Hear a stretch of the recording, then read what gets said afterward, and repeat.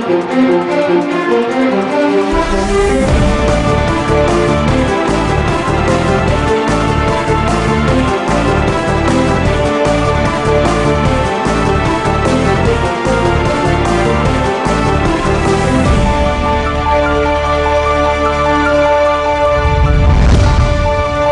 با سلام به شما عزیزان. در ایران هر کجای ایران زمین که هستید و هر کجای این کره گردان که به سر می‌برید و به تماشای تفسیر خبر از شبکه تلویزیونی ایران فردا نشستید. جمشید چالنگی هستم از استودیوی لس آنجلس ایران فردا در ساعت پیش رو با شما عزیزان خواهیم بود.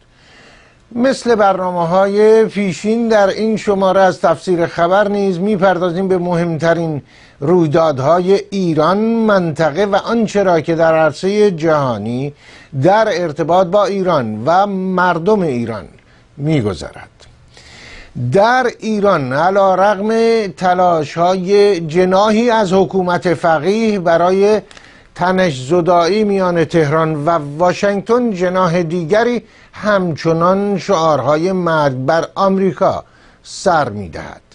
یکی از نمایندگان ولایت فقیه در سپاه پاسداران جمهوری اسلامی ایران می‌گوید شعار مرگ بر آمریکا شعار قرآن است. این در حالی است که یک روزنامه نگار دولتی آقای مسیح مهاجری سردبیر روزنامه جمهوری اسلامی که از سوی برخی ناظران ارگان رسمی حکومت ایران یا ولایت فقیه به شمار می رود می گوید چنانچه رهبری موافقت کند می توان شعار هست مرگ بر آمریکا را حذف کرد. آن سوتر در عرصه اقتصادی ایران به گفته کارشناسان هنوز نشانه روشنی از سوی دولت آقای حسن روحانی حجت الاسلام حسن روحانی برای سامان دادن به وضعیت اقتصادی نابسامان ایران دیده نمی شود و خارج از مرزهای ایران ارتباط و حمایت حکومت ایران از حکومت بشار اسد در سرکوب مردم سوریه مورد بحث و اعتراض محافل بین المللی به ویژه در عرصه حقوق بشر قرار دارد. با من و شما هستند. در این شماره از تفسیر خبر در لندن آقای ناصر محمدی روزنامه نگار و در واشنگتن. آقای روزبه اردوان روزبه روزنامه نگار و مدیر و سردبیر رسانه خبری رادیو کوچه. با شما عزیزان خواهیم بود. تا لحظاتی دیگر.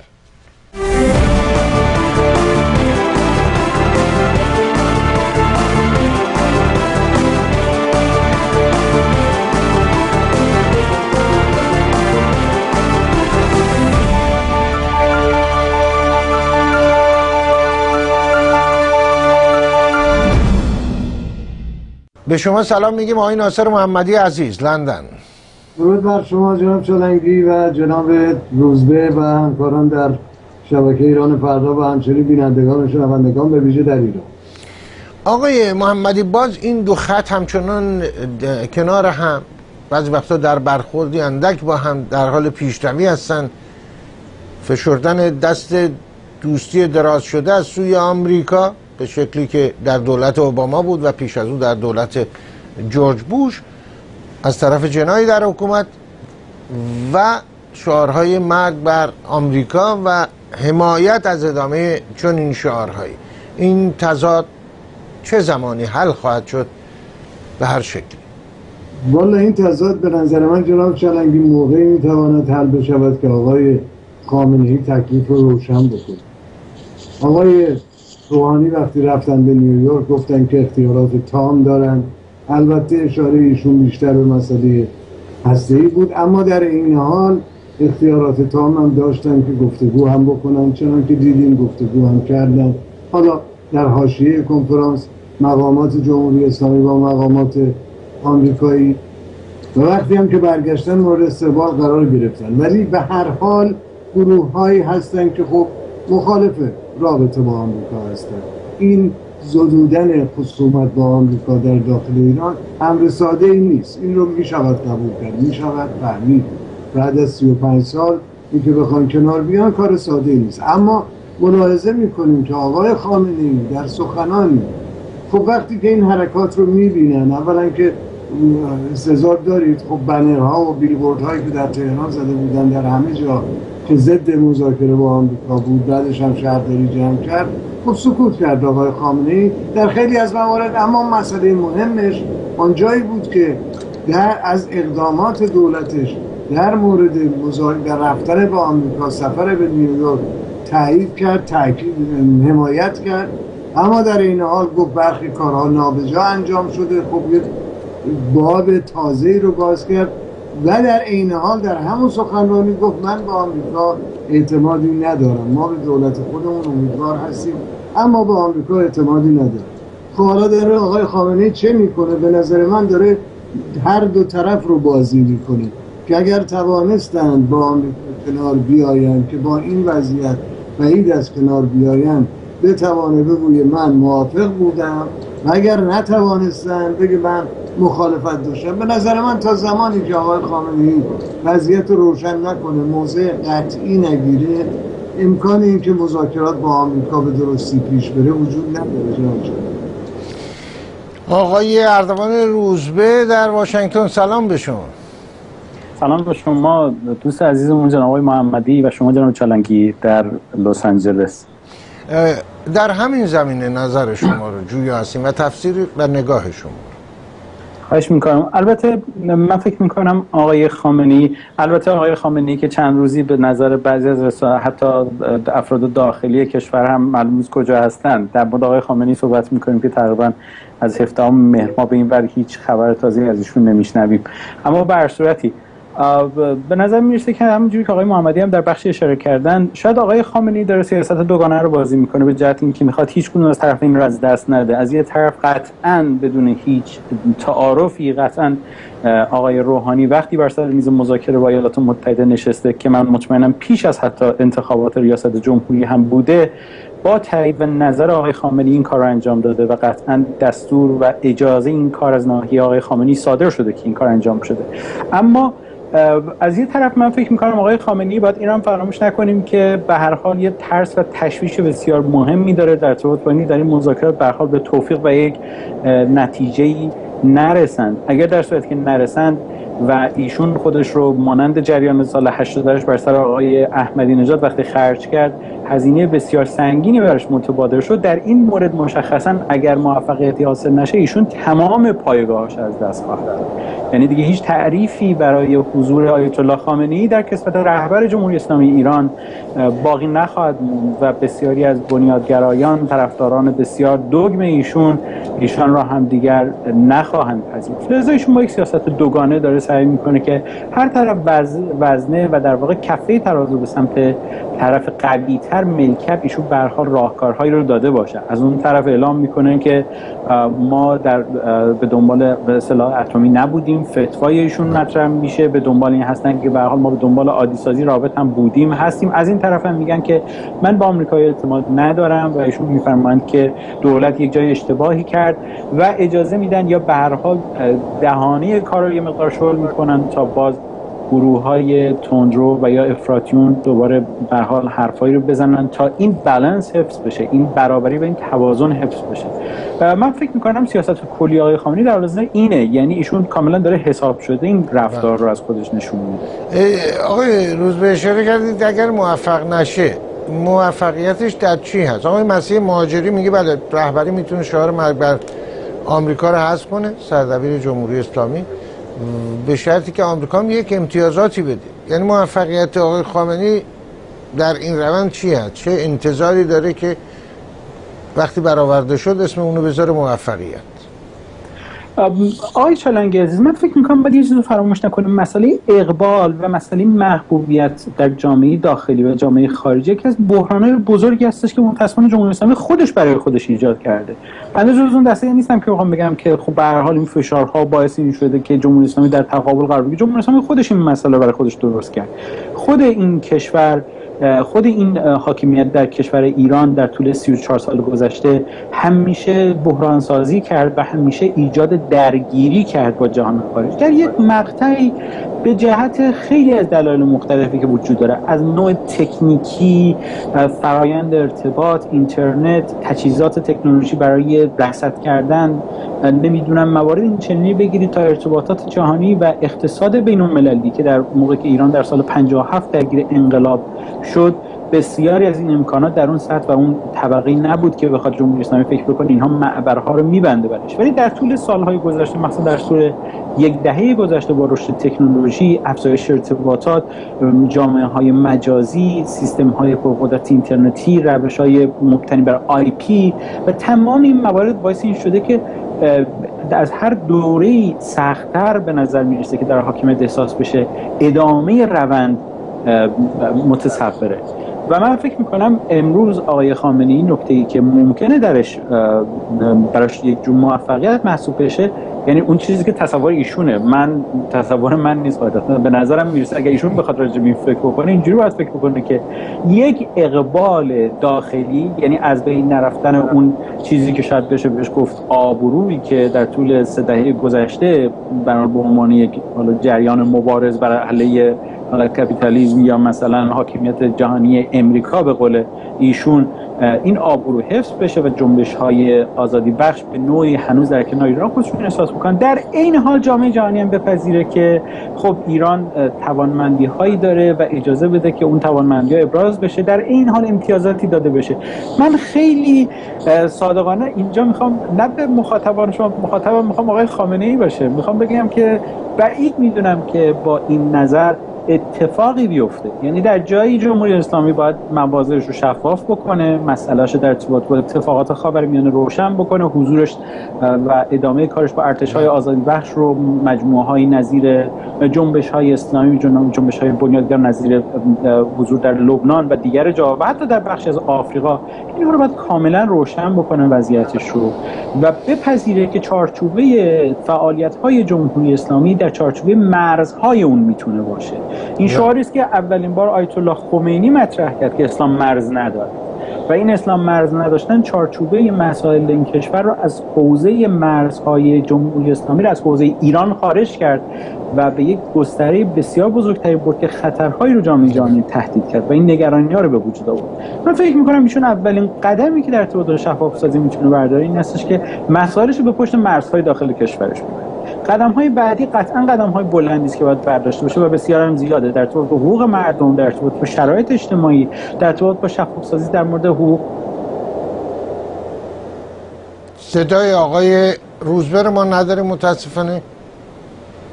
صدای من رو دارید؟ بله بفرم بله خواهش می‌کنم. در به حال حرفم این بود که در نهایت آقای خامنه‌ای باید اول مرزهای جمهوری اسلامی رو به پشت دیوارهای ایران بکشه و بعد از اون بخواد که غرب هم در ارتباط با جمهوری اسلامی شفاف سازی بکنه. من فکر کنم قدم اول ایشون باید برداره. اما اگه قرار باشه که تمام اون چیزهایی که الان ما می‌بینیم ایشون بر خودش نگه داره در این حال توقع داشته باشه جامعه جهانی به سمت یک نرمش نه حالا به حد قهرمانانه ایشون ولی به هر حال به سمت یک نرمش اگر بخواد بره به نظر من این توقع عبسی از آقای محمدی آیا اساسا جمهوری اسلامی در شرایطی که الان رسیده به گفته آقای روزبه خودش هم بیشتر برای خودش ساخته باز شده در شرایطی هست که دست بالا رو داشته باشه مثل آقای مسیح مهاجری و بقیه سخنگویان ولایت فقیه که امتیازاتی باید بده آمریکا و اروپا باید امتیازاتی بده. در چنین شرایطی هست یا اینکه ما می‌بینیم این غرب هست که داره میگه آقا شما باید چنین کنید چنان کنید. به خصوص آمریکا نیست.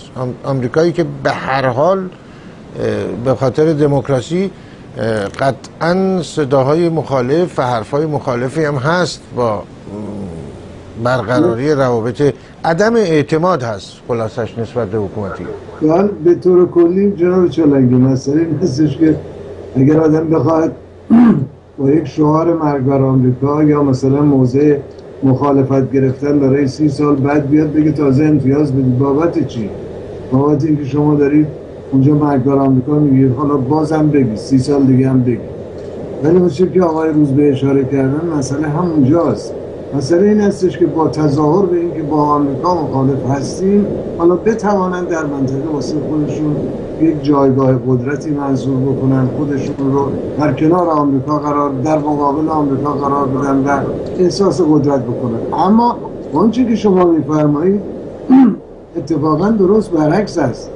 اگر واقعا می توانستن در موقعیتی بودن در موقعیت قوی بودن که بتوانند امتیاز بگیرن اساسا این باب اصلا آغاز نمی‌شد. اصلا گفتگو و پنجه به علاوه یک نظرت می‌خوام ادامه پیدا نمی‌کرد. اتفاقا جمهوری اسلامی از سر ضعف است که دلان داره به گفتگوها روی موافق نشون میده. و ما دیدیم ده سال گذشته این همه گفتگو کردن و به ویژه در دوران آقای احمدی نژاد هر بار که گفتگو کردن نتیجهش به ضرر جمهوری اسلامی بود و تحریم های بیشتر و دیدیم که در آلماتی قزاقستان و قبل از اون در استانبول بغداد مسکو اینها همه گفتگوها به شکست رو شد و تحریم ها تشدید شد. الان که الان بنده شما داریم گفتگو می‌کنیم مجلس سنای آمریکا و هر مجلس بله. نمایندگان در صدد اون هستن که لایحه تشدید تحریم ها رو دوباره تصویب بکنن. همون لایحه‌ای که در جولای تصویب شد با 14 رای موافق در مقابل 20 رای مخالف که تولید نفت ایران رو به یک میلیون بشکه در روز برسونن. حالا می‌خواهن به 500 هزار بشکه در روز برسونن. یعنی آمریکا داره کار خودش رو می‌کنه. از نظر اینکه یک سیاست موازی رو داره جلو می‌بره. هم هم آقای اوباما هم دیگر مقامات گفتن که ما هم دیپلماسی رو میریم جلو و هم در این حال تشدید فشارها هست که حتی تا حد نظامی همین رو بالا می‌برن که اگر لازم باشه دست به اقدام نظامی هم می‌زنن. اجازه بدید من سخنم رو کوتاه کنم چون جناب روزبه مثل که وقتشون کمه از فرصت استفاده کنیم از ایشون استفاده آقای روزبه از بله اشاره آقای محمدی به این هست. چون آقای روزبه گرفتار هستن در جایی باید باشن. بیش از این با ما نمی‌تونن باشن اما آخرین پرسش من از ایشون این هستش که در آمریکا اشاره کرد آقای محمدی کنگره در حال تمایل داره که تحریم های بیشتری رو به کار ببره. و از طرف دیگه بارها چند بار اشاره کردیم که در اتحادیه اروپا هم گفته شده که این در واقع سخنگوی خانم اشتون گفت این در واقع آخر بازی هست. آیا واقعا تحملی وجود داره در واشنگتن که باز سیاست دلبر جانان من برده دل و جان من برده دل و جان من دلبر جانان من همینطور باز ادامه پیدا کنه نشست و برخواست یا نه برای واشنگتن هم آخر بازی است.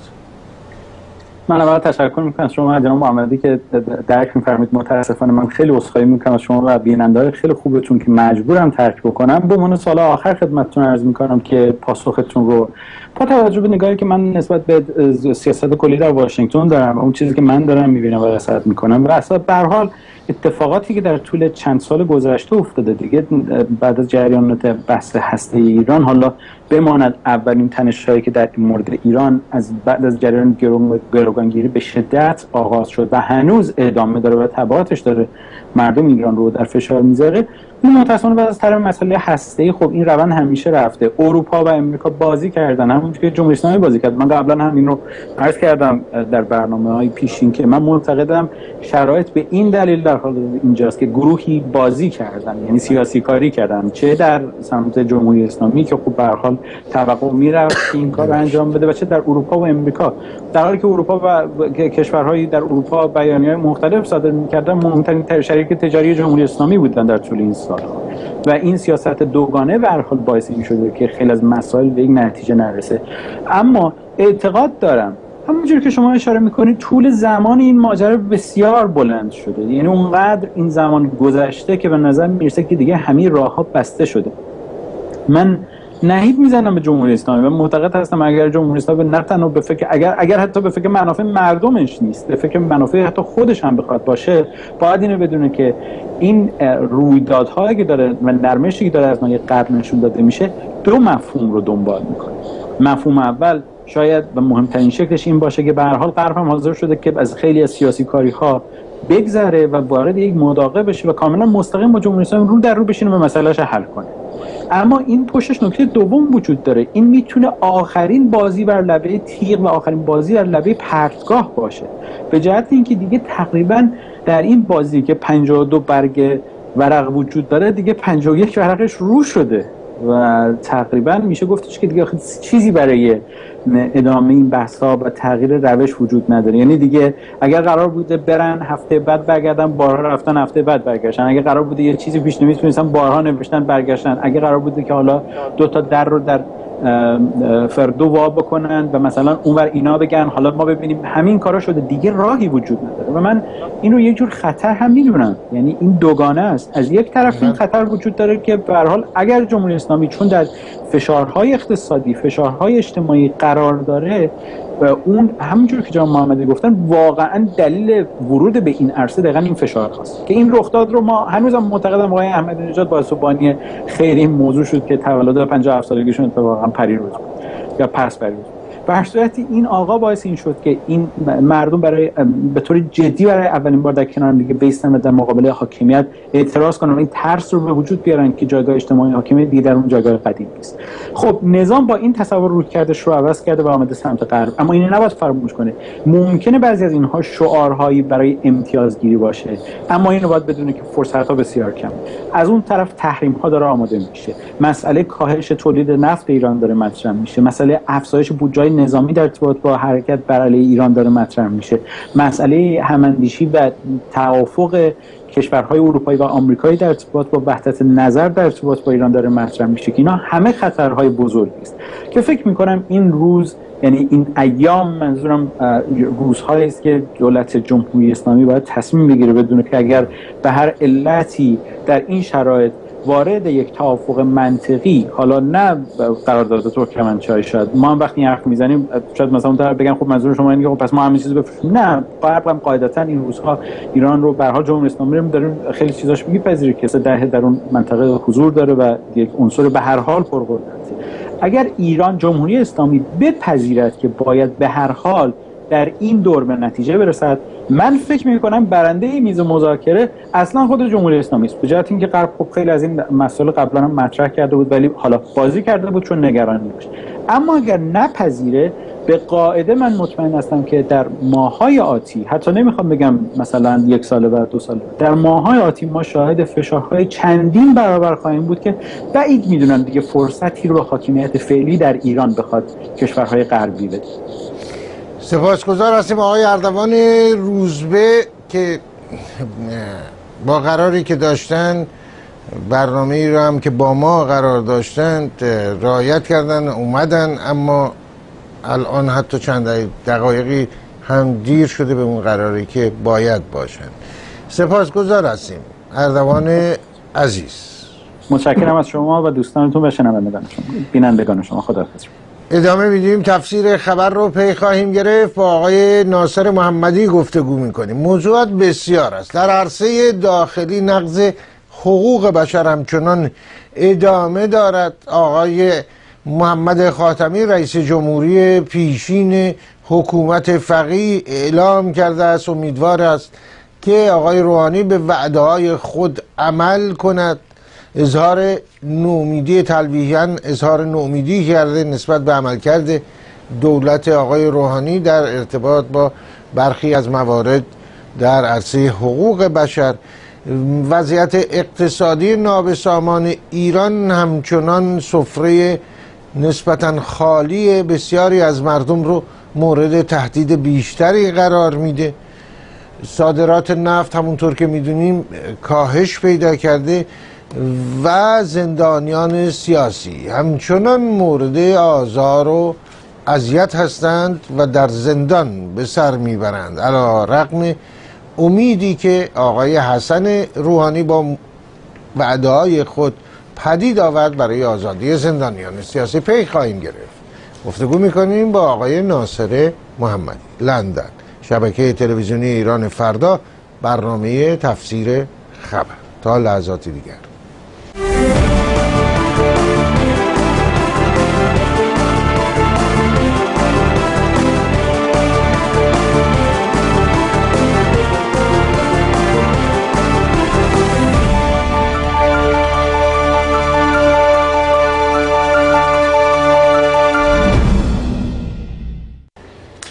آقای محمدی عزیز. بله. یعنی چند ماهی از دولت آقای حسن روحانی گذ- گذشته. اون وعده صد روزه که در دولت های دموکرات در, وا- در واقع همچین صحبتی هست که صد روز فرصت دارن اون کشورهایی که اساسشون برجا هست. یعنی در همین آمریکا جمهوری خواه میرن دموکرات ها میان صد روز اول حکومت آقای اوباما باید دید دولتش چه می‌کنه و برعکس اون میره این میاد در کشور در انگلستان هم چنین در ایران هم گفته شد که صد روز باید مهلت داد آقای روحانی چنین می‌کنه چنان خواهد کرد. ارزیابی شما رو میشنویم. در ارتباط با وضعیت اقتصادی ایران چه کرده آقای روحانی؟ والا اگه همونجوری که اشاره کردین قرار بود که ظرف صد روزه لاقل یه طرح و نقشه بدن یک برنامه راهکاری بدن نقشه مسیری بدن برای حل معضلات اقتصادی. اما به نظر من آقای روحانی خودشون هم فکر نمی کردن که وضعیت اقتصادی به این حد نابسامان و بحرانی باشه. دیدیم که در شما از کجا می‌دونید؟ آقای محمدی عضو می‌خوام. از کجا می‌دونید که فکر نمی‌کرد؟ ایشون بله، رئیس شورای امنیت ملی بوده از ارکان حکومت بوده. چرا نباید می‌دونست که وضعیت اقتصادی ایران چنین هست دو روز؟ پیش گفتم که ما دولت رو که تحویل گرفتیم با آمار اقتصادی وحشتناکی گرفتیم. با آمار و ارقام اقتصادی وحشتناکی روبرو شدیم و حالا می‌فهمیم که حتی ما توانایی تأمین نیازمندی های خودمون رو در حد 50 درصد هم نداریم. حد اکثر 44 درصد می‌توانیم تأمین بکنیم. خب از طرف دیگر می‌گویند معاون ایشون گفته است که 3500 میلیارد تومانی که باید صرف یارانه ها بشود 1800 میلیارد تومانش خب نداریم اصلا. و اونها هم که تأمین شده از بودجه نفت تأمین شده و چیزی نبوده که باید از اونجا تأمین شده. باید از افزایش قیمت سوخت و انرژی باید تأمین شه ببینید اگر آقای روحانی می‌دانست واقعا که یک چنین شرایطی هست وعده صد روزه رو نمی‌دادن. ببینید جناب چلنگی من من اجازه می‌خوام آقای محمدی خیلی عذر می‌خوام. برای اینکه شما وقتی که میفرمایید اگر آقای روحانی می‌دانست باز برمیگردیم به همون سخن که ایشان نمی‌دانست. این, همین این صحبتاتون- اینو من نمی‌دونم شما این اطمینان از کجا میارید. ببینید مسئله این هست. منتقدین میگن. آقای روحانی مثل هر روحانی دولتی دیگه در جریان اموری که داره میگذره در ایران قطعا قرار داره. آقای روحانی قطعا ابعاد فسادی رو که اشاره کردن بهش خبر داره. آقای روحانی به عنوان یک شهروند عادی هم وقتی در تهران رفت آمد می‌کرد خب می‌تونست ببینه تعداد کودکان کارتون خواب بیشتر میشه خب. گرانی چی هست چی نیست. رئیس شورای امنیت ملی حکومت بوده. حرفایی که ایشون امروز می‌زنه کسانی که زدن بابتش به زندان رفتن. همه اینها هست. شما وقتی که میفرمایید اگر می‌دانستن ایشون خب باید پرسید. چرا نمی‌دانستند ایشون؟ ببینید اشاره من به همین صحبت است که خود آقای روحانی داره بکنه میگه الان به ما می‌گویند در یک بخش به ما می‌گویند گندم 300 میلیون تن اه، وارد کرده ایم. ببخشید 13 میلیون میلیون تن نیازمندی داریم. در یه بخش می‌گویند هفت و نیم میلیون نیازمندی داریم. در یه بخش می‌گویند و نیم میلیون یعنی خودشون دارن میگن و بعد می‌گویند که ما الان وضعیتمون به گونه است که نیازمندی رو نمی‌تونیم تامین خب اینها رو آدم می‌توانست در همون ابتدای کار بگه که وضعیت به این صورته. اگر اینجور درسته. فرمایش شما درسته. آقای روحانی در مسائلی بوده است. در تمام جریانات باید اطلاع می داشت در مجمع تشخیص مسلحت به هر حال مسئولیت داشته باید اطلاع می داشت ولی الان نشون داده میشه که دولت آقای احمدی نژاد در عرض این هشت ساله کاری که کاری که کرده است به طور کلی اقتصاد رو ویران کرده. تازه آقای, آقای روحانی داره با ابعاد وسیع و گسترده این بحران اقتصادی روبرو میشه. بنده اشارم به سخنانی است که خود ایشون می‌گوید. و ضمن این را عرض کنم جناب شنگی وقتی در عرض 8 سال 74 میلیارد دلار درآمد حاصل از نفت بخش بزرگیش بیش از 50 میلیاردش صرف واردات می شود خب معلومه که ما دیگر نمی توانیم نیازمندی های خودمون رو تعمین بکنیم زیرا که تمام واحد های تولیدی به تدریج یا تعطیل میشن. یا نیمه کاره کار می‌کنن. و یا به هر حال از کار میفتن این هستش که اما در این نکته رو عرض بکنم خدمتتون که آیا در صد روزه توانستند اشاره کردید که در کشورهای دموکرات دموکراتیک معمولا این صد روزه مهلت میدن که طرف بتونه اقلا برنامه ارائه کنه. ولی آقای روحانی در زمینه اقتصادی نه تنها برنامهش رو ارائه نکردن. به نظر من تا سه ماه دیگر هم نمی‌توانند ارائه بکنن چون بسیار بسیار کار پیچیده است. و البته در مورد وعده های دیگری هم که باز جناب اشاره کردید مسئله حقوق بشر و این چیزها که آقای خاتمی هم به اون اشاره کردن در اون زمینه هم موفقیتی نداشتن. بگذار جنبندی بکنم. جناب شلنگی چیزی عوض نشده. خب ببینید من فقط بفهم در جمهوری اسلامی من قبل میپذیرم که آمدن یک عده 18 میلیونی به آقای روحانی رای دادن. بسیار خوب. وقتی شما سعید جلیلی رو می‌ذارید اون یکی اون یکی در مقابل ایشون رفتن رای دادن به اما اینکه فکر بکنیم چون رای دادن پس همه چیز هم عوض شده و یا با این اقبالی که نسبت به گفتگو در مورد مسائل هستی نشون میدن این امکان هستش که همه چیز عوض بشه بنده این رو باور ندارم. خود گفتگوهای هستی خودش مراحل زیاد.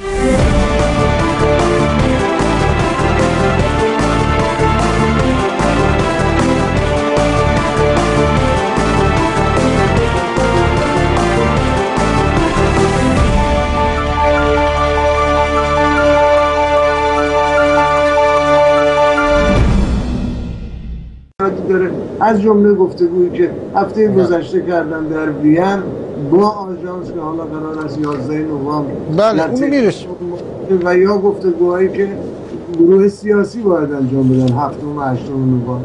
آشکارا مشخص است که هنوز پیشرفتی نشده و غرب هم داره فشارهای خودش رو وارد می‌کنه و از اون کاسته نشدن نکته این هستش آقای محمدی عزیز. آقای احمدی نژاد هشت سال در اون مملکت در کشور ایران رئیس جمهور بود. بله.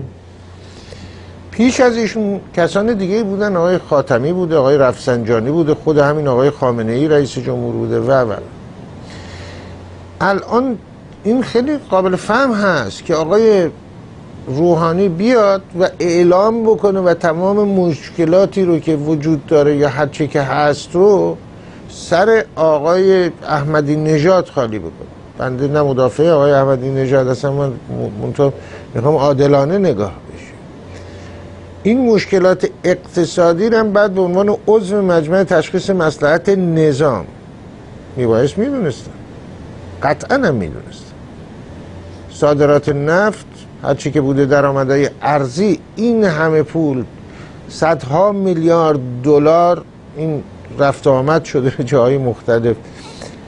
آقای روحانی آدم بنده و جنابالی نبودن؟ یا اون روزنامه نگار ساده ای که الان در زندان هست؟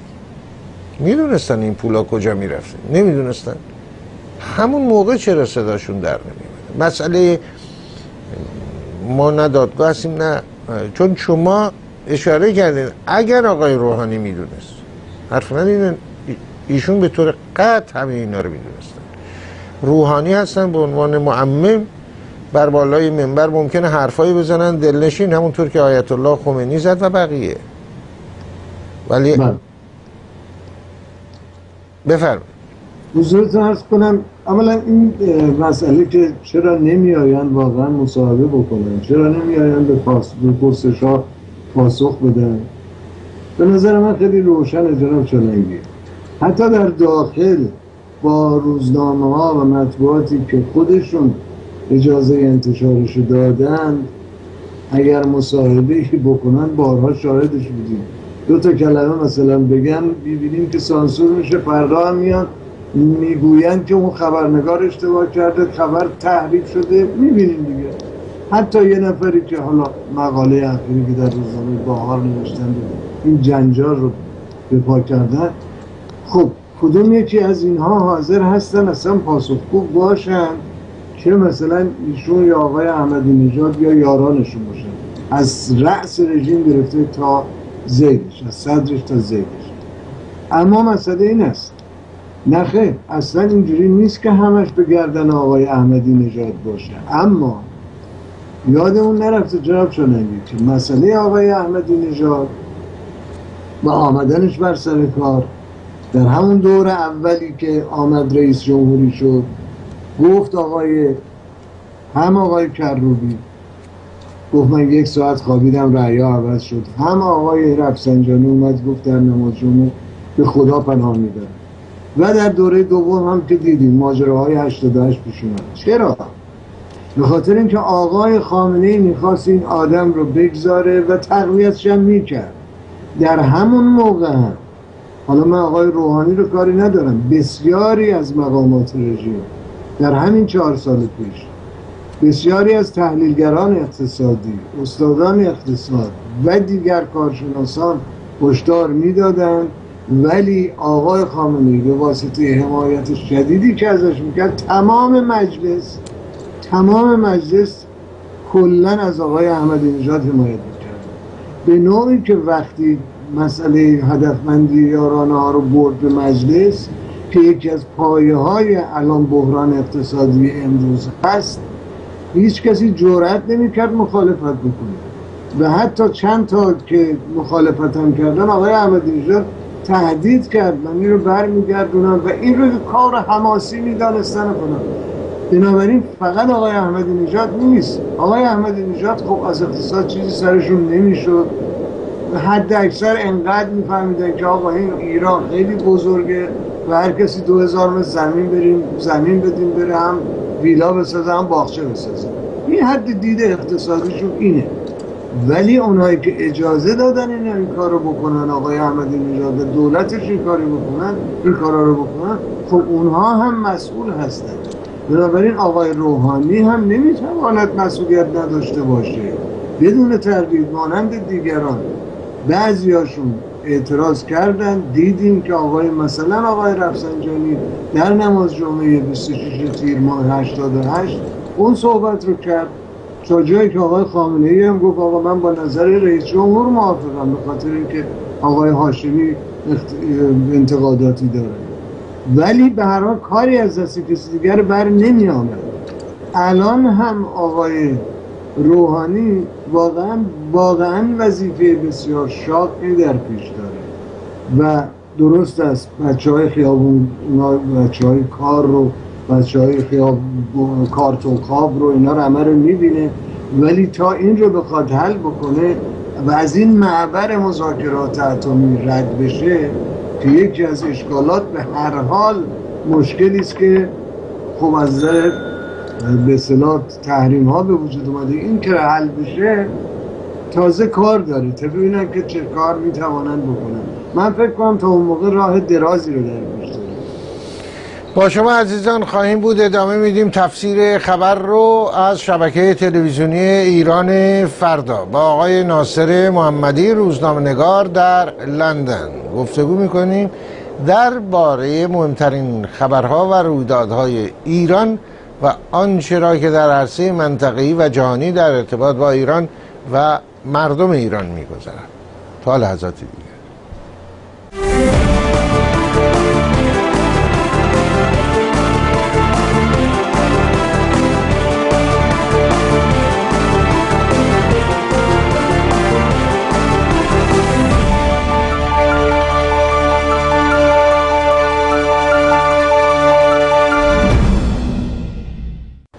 پی می‌گیریم تفسیر خبر رو از شبکه تلویزیونی ایران فردا. آقای ناصر محمدی عزیز ما بختیاری ها لورهای بختیاری یک داستان است. من بچگی شنیده بودم. این رو همیشه پدرم روان شاد برای ما می‌گفت. روان همه رفتگان شد. حالا اصل قضیه داستان یک کم مفصل هست. پدری بود صاحب دو دختر. یکی کوتاه یکی بلند قد و بعد مناسبت پیش می اومد جدا جدا خب طبعا شوهر می‌دادن بعد یکی گفت این دختر کوتاهشون یکی بلند قد یکی شاه خانم یکی ماه خانم اسمش بود. در این روایت و قصه. پدر برای پدری که صاحب این دو دختر یعنی پدر این دو دختر بود میبخشید میگفتش که بله درازی شاه خانم سر کوتاهی ما خانم. میرندگان ما که بختیاری لوری و بقیه متوجه شدن لحجه ای ببینید در ایران مشکل کم آبی هست. ایران کشور اساسا کم آبی. نسبت به مساحتش. اینو کارشناسان بهتر می‌تونن توضیح بدن. و همین دلیل پیش از انقلاب ایران رفت به طرف یک به مرور آغاز کرده بود بره به طرف کشاورزی صنعتی. شما قطعا در جریان هستید طرح نیشکر هفتپه و بعد صد دز بود و بعدش ارز کنم خدمتون صدی که در مسجد سلیمان ساختن که الان نیمه کاره مورد بهر قرار گرفت. قرار بود تمام عراضی عقیلی در اون منطقه بره زیر معروف عراضی وسیع هست. زیر کشته سنت از این مسائل بگذاریم امروز روز مشکلی که وجود داره بله زاینده رود تقریبا خشکیده. باز می‌خوان آب کارون رو بخششون منحرف کنن به طرف زاینده رود. همه مردم ایرانن آب نیاز دارن. خب مشکلاتی پیش اومده. آیا راه های دیگه نیست آقای محمدی؟ که آب رو از خوزستانی ها نگیرن به مردمان نازنین اصفهان بدن و مردم نازنین خوزستان رو یک جوری دلخور کنن از مردم هم وطنهای خودشون در اصفهان. هر کسی هم می‌خواد بهر برداری سیاسی بکنه این وسط دستش باز بشه. این این با تکنولوژی که الان وجود داره آیا راه های دیگه وجود نداره؟ چه انگیزهای پشت این هست آقای والا از نظر فنی و تکنولوژیکی جناب چون من درست وارد نیستم که چه در واقع چه کارهای عملی می شود کرد. بله. اون رو نمی‌دونه. اما یعنی در این موارد خاصی که شما میفرمایید. اما یه چیزی رو به طور کلی می‌دونم که به تمام اینجور موارد بی شده در طی سالها. ببینید دریاچه ها داره خوش میشه اصلا این خیالشون نیست. ما یادمون هست که در گذشته واقعا هر چند سال یه صد می این صد رو می ساختن و از آبش بهره برداری می‌کردن به جای اینکه آب هدر بره. این رو جمع می‌کردن و استفاده می‌کردن و همونجوری هم که اشاره فرمودید شرکت های کشت و صنعت سازمان های بزرگ کشت و صنعت اینا تشکیل شده بود. ولی همه اینها بعد از انقلاب اولا بخشش که خب در بنیاد مستضعفان خب کشت صنعت مثلا حجب یزدانی و غیر اوزانی اونها مصادره شد. بخش دیگرش هم گفتن این باید مال مستضعفان باشه که عملا اون سازمان های کشت صنعت مثل دشت مقارنه از بین رفت. و وقتی که از بین رفته حالا وقتی به مسائل اساسی جناب شالنگی توجهی نمیشه مانند اینکه آقای خامنه همین روز چهارشنبه گذشته فرمودن که ما باید 150 میلیون جمعیت داشته باشیم. هنوز جمعیتمون کمه زیرا ما به پیر جمعیتی دوچار خواهیم شد و بعد فلسفه غرب رو انتقاد کرد خب وقتی که به قضایی این شکل نگاه میشه اصلا واسه شون مسئله نیست که حالا یک جایی یک بخشی از مردم آب ندارن اشکالی نداره بالاخره باید بسازن چاه بزنن نمی‌دونم. هیچ کاری در واقع برای مردم از نظر تولیدات از نظر اقتصادی از نظر کشاورزی می‌دونی سرزمین ما به هر حال سرزمین کمابی بوده همونجور که اشاره فرمودید حتی ترهایی بوده که بیاین و آبهای خلیج فارس رو آبهای بحر خزر رو منتقل بکنن. این همه ترهایی بود که می‌شد اجرا بشه و قابل اجرا هست. ولی عملا کنار گذاشته شده به واسطه همین بیتر چون ببینید از اول جناب شالنگی همه هدف و همه فعالیت ها رفته دنبال فعالیت های سیاسی بحث سیاسی و مذهبی که مبادا الله خدای نکرده الان ارزش های اسلامی رو با نوشتن مثلا یه مقاله در روزنامه بهار در مورد قدیر خون یه دفعه می‌بینی تمام ارزش ها از بین میره. تمام مملکت بسیج میشه واسه اینکه جلوی روزنامه بهار رو بگیرن که آقای قرنوی چرا چنین چیزی نوشته. در حالی که این چه اهمیتی داره در طول تاریخ. حالا اگر وقت شد میشه صحبت کرد. بارها از این مقالات نوشتن طوری نشده یک بحث تاریخی رو طرف مطرح کرد. بنابراین به اون که اصلا نیازی نیست به پردازن دائم رفتن دنبال شما ببینید تعداد امامزاده ها مگه میشه از 1500 تا به 10500 تا برسه در عرض سی سال. این 9000 تا امامزاده جدید اضافه بشه. خب این, این چجوریه؟ یعنی چگونه هستش که آدم این همه توجه داشته باشه؟ به اینکه امامزاده ایجاد کنه ولی مثلا شاه عمیق نکنه این خب به هر حال مثلا خود رژیمی که بدون برنامه است جناب شنگی نظر من این هست. بله. آقای محمدی من پرسشم قطعا می‌دونستم من و شما اطلاعاتی ممکن داشته باشیم تخصصی در زمینه چگونه یک رودخانه خشکیده رو دوباره جاری کنیم؟ نداریم. شاید در شعر چون این کنیم نیست. دوستان این پرسش من بیشتر مشرف یا, بر یا اشراف بر این داشت که از کنم خدمت شما که خب الان این تکنولوژی در جهان وجود داره. تکنولوژی چگونه میشه کشورهایی که دوچار کم آبی هستن آب مورد نیاز مردمانش رو تأمین کرد؟ نمونهش خود عربستان. و کشورهای جنوب خلیج فاجعه که زمانی هم قرار بود آب کارون رو به قطر بفروشن که حالا به کجا رسید اگر این سیاست با دنیا در بازی داشت سر دوستی داشت آیا راه حلی می‌شد پیدا کرد؟ آیا بهتر نبود؟ آیا می‌شد کمک کرد به زاینده رو که به قول فروغ فرخزاد زمانی زنده بود؟ بله. ببینید بی تردید راه های وجود داره از نظر تکنیکی. بدون تردید. چرا که اشاره فرمودید در کشورهای خوش دارن این کار می‌کنن. ولی مسئله اینه که به شرطی که این مسئله دغدغه خاطر نظام باشه. وقتی نظامی دغدغه خاطر سوریه هست و نه مردم ایران خب چه توقعی می شود ولی یادتون هست صحبت از ابرهای بارانزا بود که بتوانند او رو منتقلش بکنن. راه های, راه های زیادی هست. اگر بخواهن کاری بکنن واقعا بخواهن به موزلات مردم برسن خب راه زیاد داره. متخصصین هم بلدن کشور منتها واقعا لازمش این هستش که ما یه روابط درست درمون بذاریم اینجوری بگم یه روابط متوازن متعادل مطلوب با کشورها داشته باشیم با جهان داشته باشیم با مردم خودمون داشته باشیم.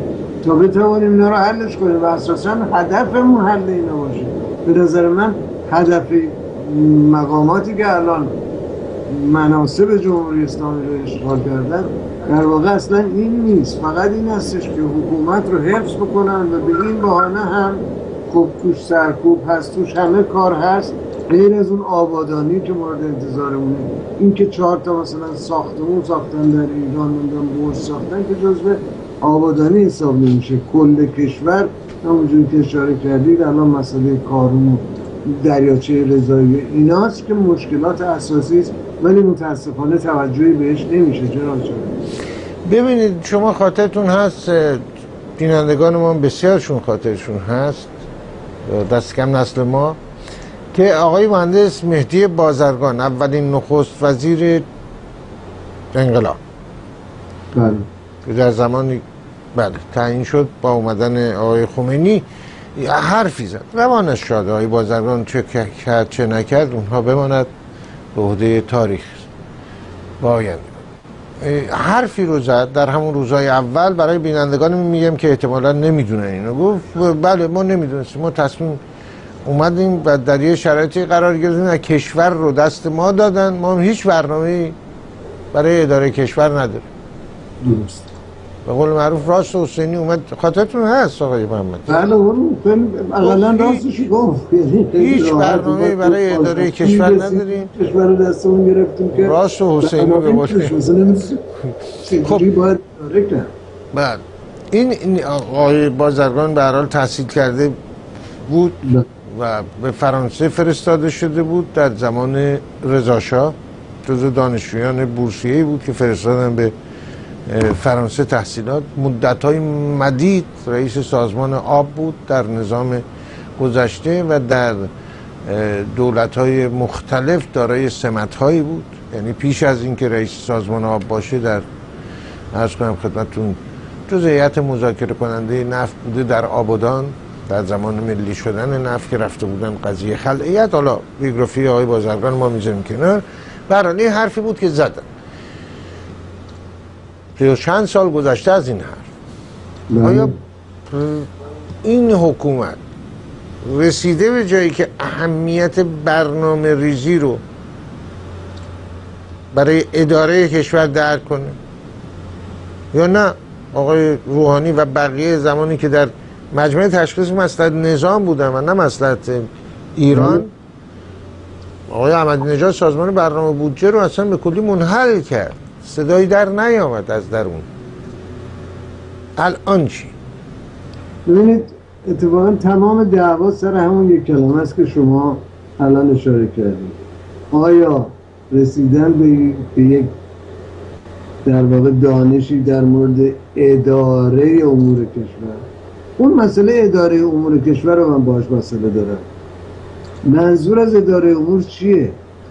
آقایون فکر می‌کنن اداره امور کشور یعنی اینکه به هر قیمتی که شده جمهوری اسلامی باید حفظ بشود ولی فقیه باید حفظ بشود و حکومت اسلامی رو حتی المردم تا جایی که می‌تونیم مبارزه کنیم تلاش کنیم که در منطقه جا بندازیم. یک خلافت اسلامی درست کنیم به ریاست آقای خامنه ای یا هر ولی فقیه دیگری که هست. اینا از نظر اینا اداره امور کشوره. خب شما چطور شما الان توجه نمیفرمایید؟ عوض بخوام دارم اینو میگم که همینایی که الان مثلا مریض هاشون تو بیمارستان ها گرفتار دوا هستن رفتن الان توی عراق مریض خونه ساختن. بیا و ببین خیلی هم پیش رفت در سوریه ساختن کیف می‌کنه در ونزوئلا رفته ساخته اداره امور کشور از داره اینا اینه. نه اداره امور مردم ایران. مثلا مردم ایران که قشنگ میشه با چهار تا مسجد اداره کرد و گاهی هم یه غذای دو تمامش بکنه بره آخرش هم یه خود قور می‌زنن تو سر تو سرشون می‌زنیم و سرکوب می‌کنیم تمام میشه. اون اداره امور کشوری فرمایید اصلا مورد نظر اینا نیست. ولی آدم خب توی این سی و پنج سال مگر می‌شود کارشناس متخصص اینا تربیت نشده؟ بسیاری هستن. ولی اجازه نمیدن که اونا کار کنن. تمام کارها رو شما آخه ببینید سر اصطلاح در رأس این ادارات و سازمان ها چه کسانی نشستن؟ در همین وزارت نفت چه کسانی نشسته بودن؟ در سازمان برنامه که به قول شما اصلا اومدن منحلش کردن. بعد از 60 سال اومده سازمان برنامه که خب بالاخره بر مسئول برنامه ریزی کشوره. منحلش کرد آقای احمدی بانک مرکزی که مسئول حفظ ارزش پول ایرانه تمام نظامات مالی رو تعیین می‌کنه و پولی رو اون رو اومد استقلالش از بین برد گذاشت زیر نظر یکی از معاونین خودش. خب نمی‌خوان اداره بکنن کشور رو. به اون صورتی که مفهوم واقعا کلاسیک و قابل فهم و معمولی اداره امور کشور هست که مراد شما هم هست. این اصلا دلشون نمی‌خواد اونجوری اداره کنن. اگر مردم سیر بشن بعد اون وقت ممکنه مکافات دیگه داشته باشن. همینجوری دارن سی سی سال با شعار و با همین همین کارهایی که دارن می‌کنن دارن اداره می‌کنن دیگه. ولی جاهای دیگه میرن واسهشون امورشون به رسیدگی می‌کنن آبادم می‌کنن. واقعا آدم دلش میسوزه وقتی میگن 1500 تا خانه رفتن در عراق ساختن. برای آدمایی که در عراق بی خانمانه. بس شما صحبت از کودکان کارتوخاب می‌کنید. خب نمی‌خوان بکنن. خیلی واضح و روشن جناب چلنگی به نظر من. آقای محمدی خود شما اشاره کردین آیت الله روح الله خمینی وقتی اشاره کرد اسلام مرز نمی‌شناسه و این سیاست ادامه داره. در واقع خوب چنینه که در سوریه دست داره حکومت ایران در عراق دست داره. گفتیم آقای نوری المالکی بسیار میگن فرمان بر و فرمان بردار تهران بله. هستش. در قضیه لبنان در قضیه فلسطین. مدافعین یا حامیان چنین سیاستی میگن که خیلی خوب. به ازاش الان ایران یک وضعیتی پیدا کرده که یک نوع قدرت در منطقه است. و حتی آمریکا برای حل مسائل منطقه‌ای ناچار نمایندگان حکومت تهران رو هم کنارش روی میز مذاکره ببینه. بنشونه اشکال کجاست؟ خب حالا شما منظورت این هستش که یک کشوری بیاد. مردم خودش رو گرسنه نگه بداره و کشور رو عقب براند به جای اینکه جلو ببره و بعد بره به کشورهای دیگر کمک کنه واسه اینکه حالا حسابش بکنن که قدرتی است در منطقه. اولا که ببینید خب من نمیگم من اینو نه تایید می من کار من دارم میگم که چنین توجیه میشه. مثل شوروی سابق. میگه حالا اون در یه داستان نظر شما نیست. منظورم همین توجیهاتی که می‌کنه. بله بله. خب این توجیه یعنی ما باید قبول بکنیم با توجه به این کارهایی که جمهوری اسلامی کرده. حالا چهار تا محموله سلاح مثلا میرسونه به بشار اسد و نمی‌دونم این کارهایی که در منطقه می‌کنه. این الان شده اول قدرتی مانند آمریکا که آمریکا بیاد التماس بهش بکنه. اینا همه شوخیه. منتها اونها هم دارن بهره برداری خودشونو کردن در این مدت. در از همین مسائل البته اشتباهات خودشون هم داشتن. از جمله مسئله ایران که واقعا تو سینی طلا تقدیم کردن به جمهوری اسلامی. هست اونا اشکالات زیاد دارن. اما به طور کلی کشوری این کار می‌کنه آمریکا یا کشور قدرتمند دیگری که می‌گوید من در منطقه نفوذ دارم و ابر قدرت هستم و غیره که اول تغذیه مردم خودش رو بهداشت مردم خودش رو زندگی مردم خودش رو رفت آمد مردم بله. خودش و تحصیل مردم خودش رو تمام اینا رو تأمین کرده باشه و بعد بره در جاهای دیگه هم کمک بکنه. تازه بابت اون کمک ها هم اونها کلی در واقع درآمد به دست میارن. مانند جمهوری اسلامی نیست که بره اونجا فقط هزینه نکنه میرن طرحهایی رو اجرا می‌کنن. بهره برداری هایی می‌کنن.